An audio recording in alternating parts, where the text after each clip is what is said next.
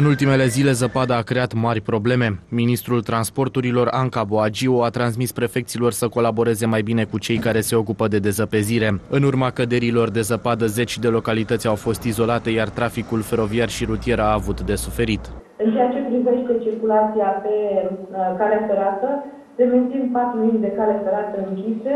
Astăzi, în acest moment, de această oră, din cele peste 1900 de uh, curse, 69 au fost anulate. Ministrul Administrației și Internelor, Traian Igaș, a dat dispoziție polițiștilor de frontieră să colaboreze cu omologii din statele vecine, având în vedere că în Ungaria este cod roșu, iar în Serbia și Bulgaria cod galben de zăpadă. E bine să aveți și dumneavoastră o legătură permanentă cu ei, să știți dacă autoritățile vecine închid traficul uh, la frontieră, ca să știm și noi să fim pregătiți. Prefecții au fost avertizați să fie pregătiți în continuare pentru că în țara noastră va continua să ningă. Oltenia va începe peste câteva ore uh, să plouă. Uh, la munte, ninge, vântul nu mai este de 5, de 90 de km pe oră. Rămâneți în vigilență maximă până miercuri la prânz cel puțin.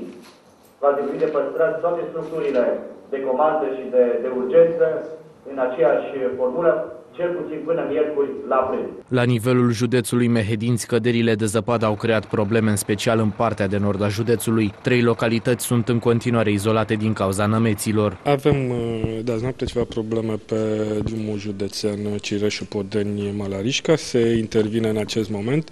Uh, din păcate s-au strâns nămeți de aproape 2 metri, dar în cursul zilei de azi vom deplăga acest drum. Mai avem probleme pe drumuri comunale. Aici o să luăm legătura cu primarii, cu tot comandamentul pentru situații de urgență, unde este cazul să-i ajutăm împreună să debarasăm, să nu mai avem sate izolate în județul Mehedinți. Localitățile izolate sunt Malarișca, Firizu și Ilovița. În cazul în care aici vor apărea urgențe medicale, vor interveni ambulanțele smurd însoțite de utilajele de dezăpezire.